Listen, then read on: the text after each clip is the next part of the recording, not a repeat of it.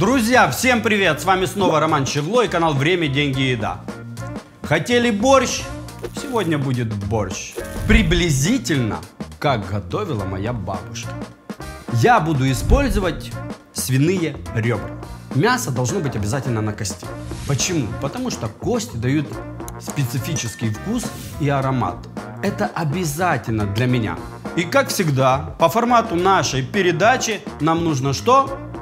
Правильно, взвесить наши ингредиенты. Поехали. Свиные ребра. 982 грамма. Дальше берем картошку в этой же пиалочке. 430 грамм картошки. Свекла 309 грамм. Дальше. Для подачи нам нужно 5 кусочков бородинского хлеба. Капуста 384 грамма. Фасоли 201 грамм. Дальше. Пару ложек томатного соуса, томатной пасты, кому что нравится. 83 грамма. Сметана, опять же, по вкусу. Кто-то любит сметаной, кто-то любит без сметаны. Но посчитаем 81 грамм. Сок половинки лимона. Здесь у нас 74 грамма. Сахара 26 грамм, но я не уверен, что он нам понадобится опять же весь. Горчица это для вкуса, для сала, для хлеба 18 грамм. Вот, пару зубчиков чеснока 14 грамм. Дальше. Перец болгарский, смотрите, э, я точно знаю, что нам нужно будет его половина, поэтому поделим э, на двое сразу. 158 грамм, 160, округлим на 2, 80 грамм болгарского перца, потому что мы будем использовать половину. Дальше. Лук репчатый, три небольшие луковицы, по весу это будет 238 грамм. Дальше. Морковь 128 грамм, две небольшие или одна большая. Э, дальше. Лук по вкусу, кто любит с луком, кто любит без лука, 18 грамм зеленый. Укроп 15 грамм. И перец острый. Нам он точно этот весь не понадобится. Нам понадобится ну, пару грамм его. Тут 7 грамм, но мы отрежем э, сколько нужно. Сало к борщу это для меня самый необходимый ингредиент. Я думаю, э, оно уйдет все.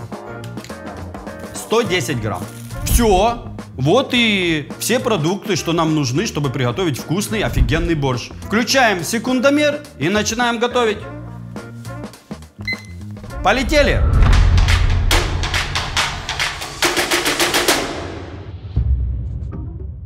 Первую очередь я начинаю готовить борщ с мяса. Поэтому что мы делаем? Берем мясо, салфетки, Обязательно это все промакиваем, чтобы наши ребрышки не стреляли на сковородке. Если вы не промокнете мясо, оно будет влажное, то когда вы положите его на раскаленную сковородку, оно будет вам стрелять э, горящим маслом. Оно вам надо. Все, нарезаем наши ребрышки по косточке. Потому что когда оно подварится, оно потом легко будет отделяться от кости. Вы косточку с легкостью можете вытянуть она уже будет практически надрезана. Поэтому я режу его по косточке, ребрышки. И они получаются порционными. То есть вы насыпали борща в тарелочку, положили там пару ребрышек и все, и порция. Так, все. Ребра мы порезали. Теперь мы включаем нашу мирту.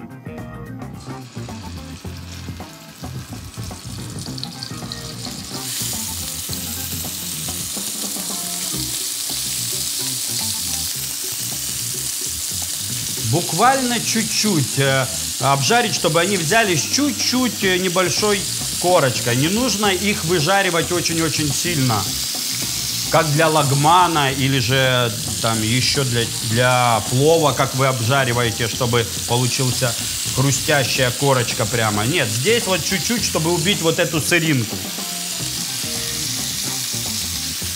Потому что нам нужен еще будет наваристый вкусный бульон. Поэтому мы его, их вот так вот клац. Уже пошел запах жареного мяса. Это уже вкусно пахнет. Но до борща нам еще далеко. Стараемся со всех сторон обжарить, чтобы не было а, сырого мяса. Так, этот кусочек уже все. И мы его в кастрюльку.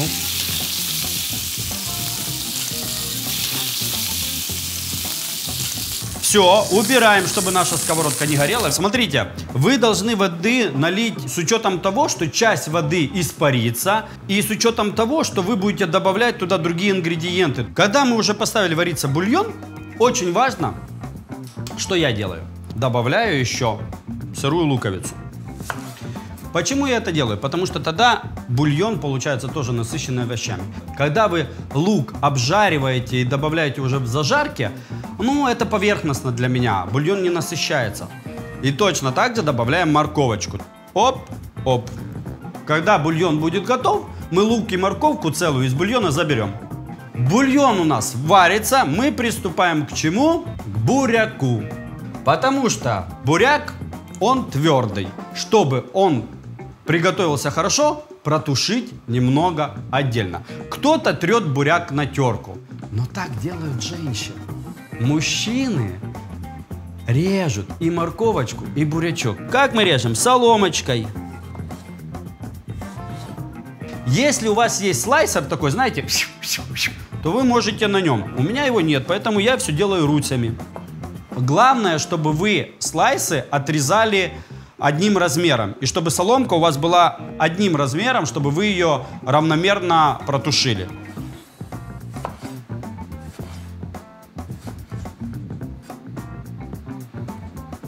Я режу его не сильно длинной соломкой, для того, чтобы, когда вы будете кушать, не, не свисал с ложки и не тянулся. То же самое с капустой. Многие режут э, длинной такой соломкой капусту, буряк, но потом его неудобно брать в ложку, он выпадает, там валится. Можно было бы порезать, как я и говорил, вот так вот вдоль, и тогда соломка будет длинная. Но я режу чуть-чуть поперек, и соломочка получается короткая. Честно говоря, я не помню даже, когда я первый раз приготовил борщ. Я даже не помню, честно говоря, э, какой он был на вкус. Но знаю э, точно, что я пробовал борщи готовить по разным рецептам. И за долгие годы, как говорится, э, приготовления этого блюда я уже выработал тот рецепт, который действительно нравится мне и моим близким.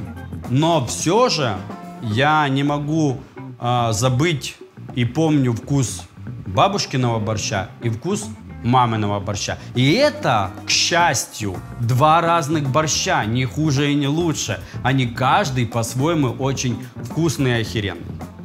Так, все. А смотрите, что мы дальше делаем с бурячком, с нашей свеколкой? Я туда, за сотейником. Сюда немного оливыча. И теперь мы сюда добавляем Мы бурячок не просто тушим, мы туда добавим немного соли и сахара, где-то чайную ложку. Для чего? Для того, чтобы бурячок хорошо протушился. Отдал свои ароматы и вкусы и был у нас мягенький и тушеный. Все, воды мало, мы сюда добавляем воды.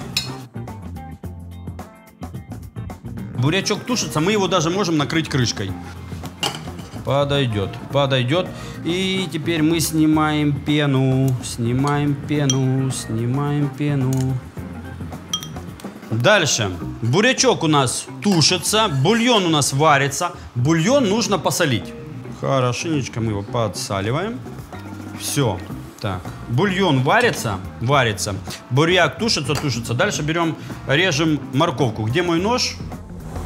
Морковку, как и бурячок, я тоже режу на соломку. Не люблю тереть на терку, потому что хочу, чтобы это было красиво и вкусно. Морковочка у нас порезана. Тушится бурячок. Ой-ой-ой, как классно. Он уже такой на подходе.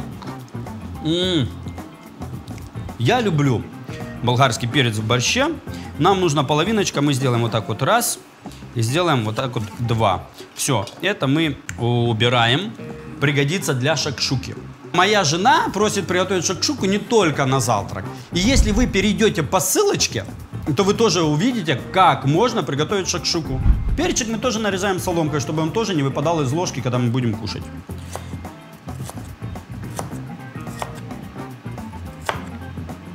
Думаю, и слышу по аромату, что наш бурячок практически э, готов. Выключаем и пусть стоит дальше, пока мы дорежем перчик. Сейчас мы будем делать зажарочку к борщу. Зажарку будем делать, как делает моя мама. Мама делает зажарку на сале. И мне это очень нравится, потому что это добавляет, ну, такой плотность, жиринку, что ли, я не знаю, кусочки, мелко выжаренные кусочки сала в борще, мне это нравится. Но бабушка делала борщ в печи. Это незабываемые ароматы и вкусы. Дальше, что мы делаем? Нарезаем сало. Клац. Вот смотрите, три кусочка для зажарки нам хватит с головой. Оно уже мягкое, но чтобы его потом нарезать к подаче, мы его отправим в морозилку, пусть замораживается. Вот салка для зажарки мы будем нарезать кубиками. И точно так же небольшим кубиком раз. Глядя на сало, глядя на ребрышки, я не могу сказать, что это блюдо легкое и диетическое, но это офигенно вкусно. Дальше. Лучок нарезаем кубиками, как салка. Клац, клац, клац. У нас прошло сколько там времени? 43 минуты. Мясо, наверное, еще не готово. Сейчас посмотрим.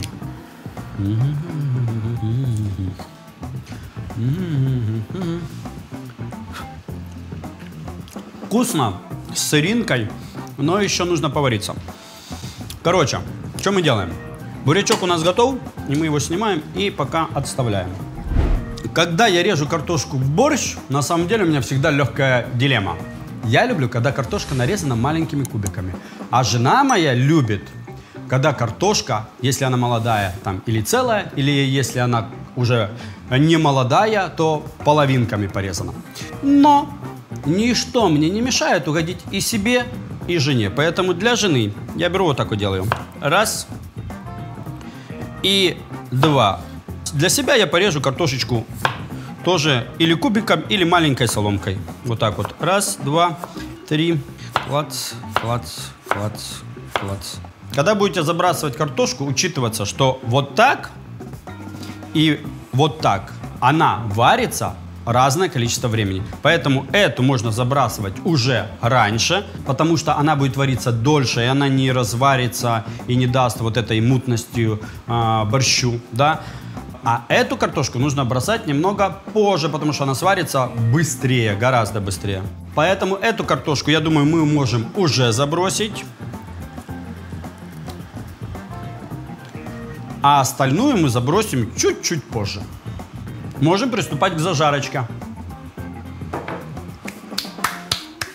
Нам нужна сковородка. Мы берем нашу сковородочку, где обжаривались наши ребрышки. Помните, вот здесь остались мясные соки. Буквально чуть-чуть добавляем подсолнечного масла, капельку-капельку, чтобы не горело. И включаем, разогреваем и добавляем наше сало еще.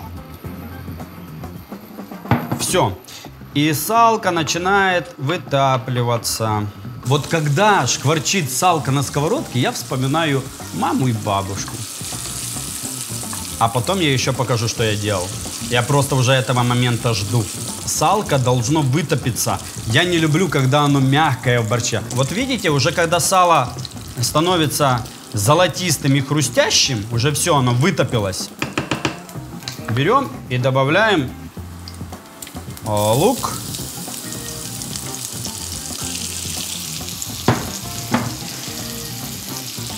перемешали.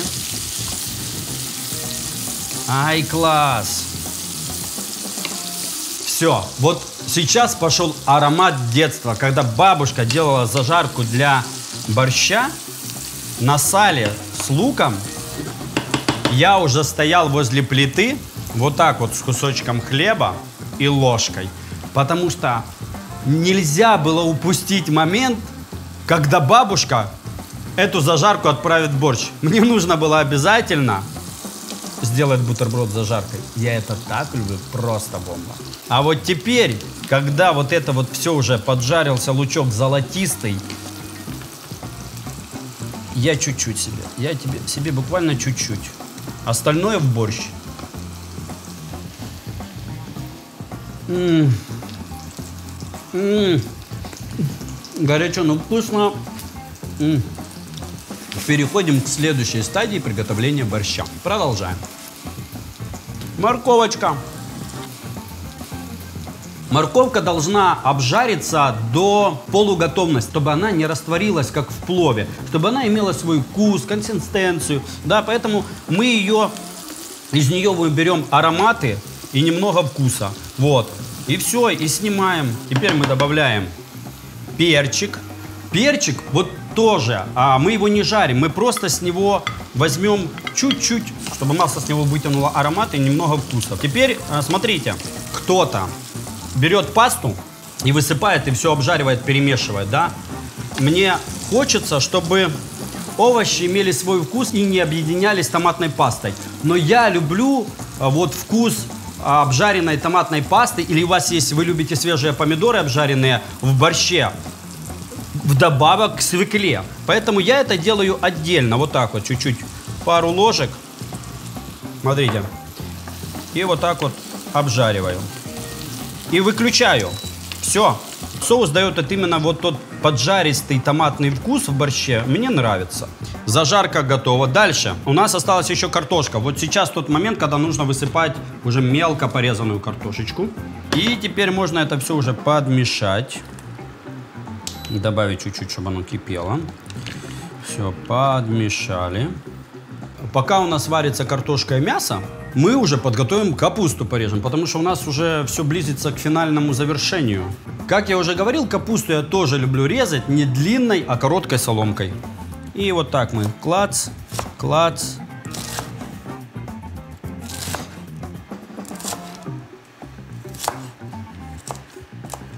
В принципе, у нас уже все готово.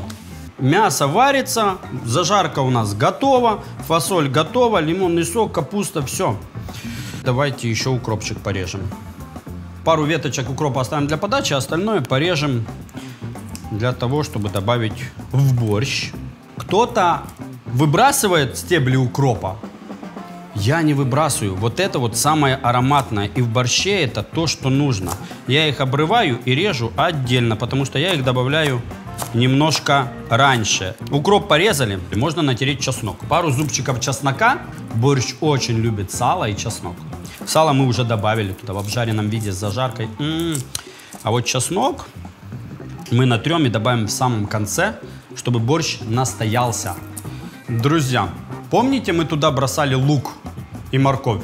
Вот сейчас то самое время их уже доставать. Поэтому берем вот лучок этот раз. Мы на это потратим минут 5 времени, чтобы ее достать. Еще один кусочек. Все, мы достали. Э, глядя на мясо, я думаю, что оно уже все. Сейчас мы его попробуем еще разочек. Да, вот мясо уже готово. Пока мы сейчас все туда досыпем, и оно дойдет, оно будет мягенькое. И такое, как нам нужно, будет сниматься легко с кости будет мягкое и нежное. Мы начинаем уже завершать наш борщ. Бросаем два небольших лавровых листа. Опа. И брошу штук 15 черного перца и штучек 6-7 э, э, душистого. Оп, бросаем зажарочку. Берем и это все высыпаем, высыпаем, высыпаем, высыпаем, высыпаем. Наш борщец. Перемешиваем. Ай, красотень. Уже красиво. Но он не красный еще, потому что у нас стоит свекла еще. Что мы делаем дальше? Зачем у нас лимон? Лимон – это кислота. И когда мы добавляем кислоту, во-первых, останавливается приготовление овощей, замедляется. То есть фасоль у нас уже готова, и чтобы она потом не разварилась, а была целенькой, нам нужна кислота. Мы берем и добавляем сок лимона. Чуть-чуть, чтобы была легкая кислинка. Мы кислинку должны почувствовать. Вот. Мало. Она должна быть ощутима, только тогда это будет работать. Оп, все. Вот то, что нужно. Смотрите. И вот теперь мы можем добавлять фасоль. Она не будет развариваться. Это первое, зачем нам нужен лимонный сок. И второе, зачем нам нужен лимонный сок, это чтобы он не потерял цвет, когда мы добавим буряк. И теперь мы можем добавлять нашу свеклу, добавляем чуть-чуть мощности, чтобы он чуть-чуть кипел. Ай, класс. Главное не обляпаться, потому что бурячок очень плохо отстирывается. И вот теперь это уже практически борщ отличного цвета. Вау, класс. Сейчас он кипнет. И вот теперь можно добавить капусту. Я капусту добавляю тоже после кислоты, потому что я люблю, когда капуста с хрустинкой. Мы высыпаем капусточку, капусточку. Идеально, и с капустой угадали, с капустой угадали. Ура! Теперь это все. Добавляем мощности, чтобы это все быстренько вскипнуло. И, ой, красотень какая густой. Ух, класс. Теперь быстренько, пока это все у нас вскипает, мы нарезаем вот так вот буквально раз, два, два кружочка перчика остренького. Лотерейка, вдруг кому-то повезет, в ложечку попадется. Класс. Теперь самое главное, берем быстренько, натираем чесночок и ступку клац к стеблю укропа вот сюда раз, перетираем. Я выдавливаю все их ароматы и масла. Они объединяются, и потом мы вот так вот берем это все. Когда борщ уже готов, мы сюда вот так вот оп, оп, и перемешиваем. Все, борщ готов. Мы выключаем наш таймер.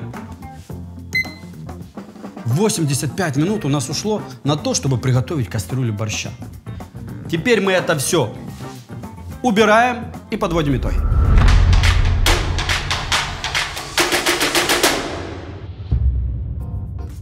Восемьдесят пять минут у нас ушло на то, чтобы приготовить кастрюлю борща. Глядя на метки внутри кастрюли, почти 5 литров. То есть где-то точно 10 порций, а может даже быть и больше. Насыпаем, пробуем. У меня слюни текут. Сначала насыпаем погуще. Класс. Вот так вот. Ать. Теперь мы берем. Ать. И вот теперь вот так вот. Ать. Ать. Ать. Я уже сейчас захлебнусь я буду есть. На самом деле я люблю борщ есть изначально без сметаны, чтобы ощутить настоящий вкус борща. Без сметаны, без сала, без лука. Чистый, вкусный, насыщенный вкус борща.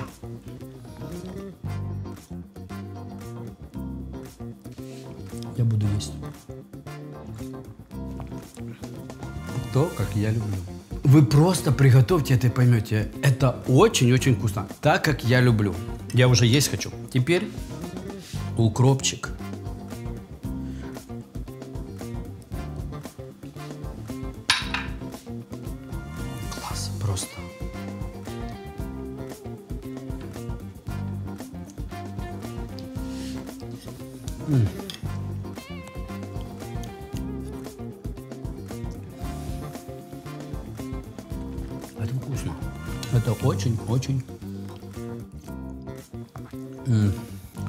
Кто-нибудь хочет борщ? Кому насыпать? Короче, я не могу остановиться, насколько это вкусно. Но мне нужно подвести итоги.